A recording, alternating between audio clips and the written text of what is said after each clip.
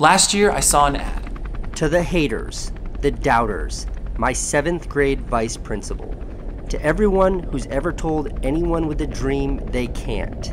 And it was awesome. So I bought the phone. This is terrible advice. I really hate this phone. I've been using it about a year and I still don't know how all of it works. Hear me out.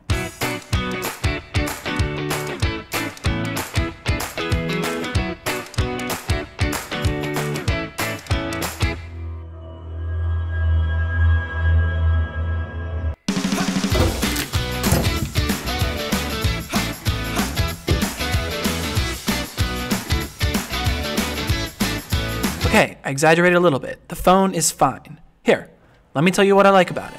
Pretty big screen, and the curve is pretty cool. USB-C, because it's 2019, thank you very much. I feel fully in control of the entire phone, almost too much so. It works with Google, hell yeah. And that goes for the Play Store too. Headphone jack, 10 points for Gryffindor. Uh, I mean, Samsung. Fast and snappy UI to the day, still feels like new. And Nova Launcher is just a personal preference. No apps on my home screen, just gestures.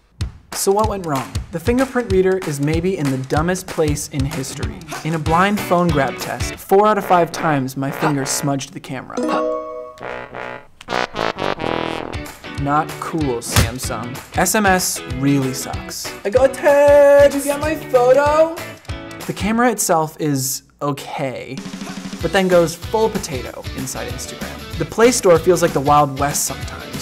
Why are there 20 settings in the quick action drawer? Why not like four? We need to pause. Bixby, what the f? And somehow you got your own button?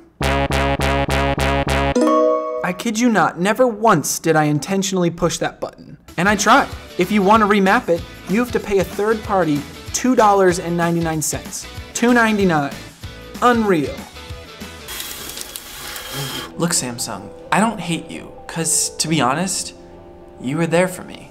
When I got lost and stranded, through the happiest moments, and through the hardest time of my life.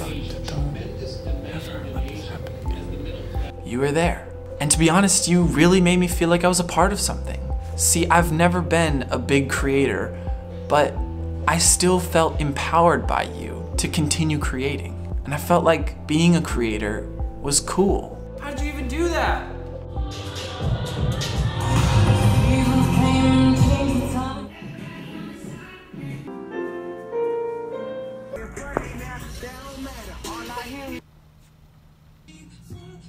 So thank you for that. You really empower creatives, and that doesn't go unnoticed. It's just that the delivery of this wasn't perfect, and I think you know that. As a creator, I need a camera that works seamlessly on social and doesn't smudge. And I need it to seamlessly work with my other tech so, so I can just go from this to that without 15 steps in the middle. And I really need an interface that doesn't slow me down. So as a creator myself, I need to adapt and move on. If I'm gonna use an old phone, I need you to understand where things went wrong. The iPhone 7 Plus, aka the only thing I could find in my drawer. It's got a solid camera all around. Siri is way better than nothing. Solid sized screen. A home button that clicks and is very satisfying. And that underrated toggle switch for the sound. The fingerprint reader is very logical. The App Store is very nice and clean. The UI, incredibly simple. iMessage. I got a text! FaceTime. Actually, I take this one back. AirPods, absolutely best tech of 2018, even though my dog bit mine.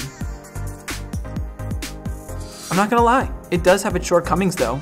The battery life is horrendous after six months of use. No headphone jack because I do occasionally need it. It's pretty old and slow.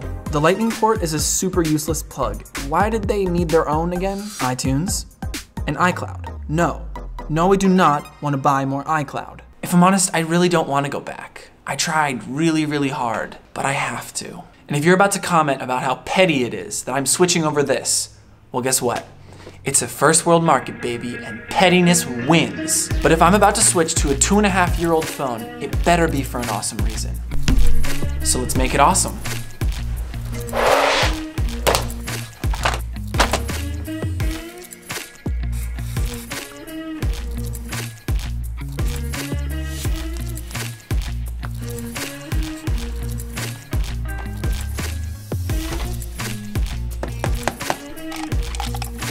We don't have any pencils?